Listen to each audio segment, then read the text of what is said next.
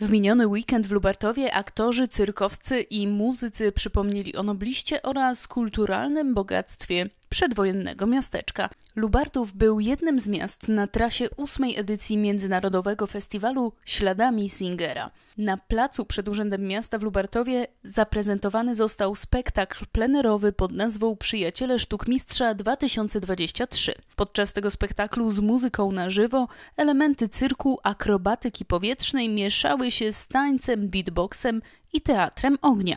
W spektaklu pod kierownictwem artystycznym Arkadiusza Ziętka wzięli udział artyści z Włoch, Grecji, USA, Szwecji, Peru, Czech, Niemiec i Polski.